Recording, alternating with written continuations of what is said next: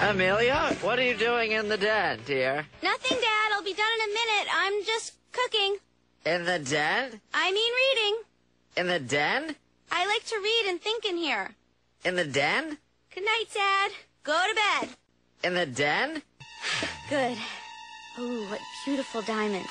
Now I just have to get these to the hotel before my father knows they're missing. Please forgive me, Father. What? Are you talking to me, Amelia? No, Dad. Stay right there. I'll bring you some more milk. In the den? Dad, I- I'm going to bed. Good night. In the den? Thanks. What's in the bag, dear?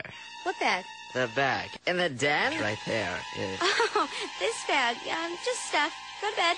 Okay, I'm very tired. Good. But first, I want to check on my diamonds. For what?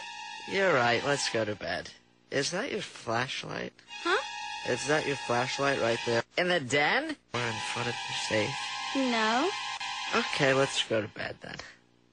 All right, cut, cut, cut, cut, cut, cut, cut, cut, cut, cut. Guys, that was great. That felt pretty good. Uh, did that feel good? Yeah. Once we shoot on location, this thing is going to be incredible.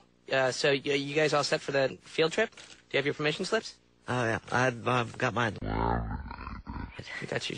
No, I don't know, Brendan. What if we get in trouble? Look, we, we're we're not going to get in trouble, so it, it doesn't Oh, matter. well, I'm just nervous about it. Melissa, it's just a hotel. People shoot movies in hotels all the time, so it's. Oh, listen, don't worry about it. Getting the shot is the only thing that matters. All we have to do is get the shot. I- Brendan, is that supposed to be some sort of pep talk? Because I gotta tell you, it's not making me feel any better. uh, well, I have a machine at home.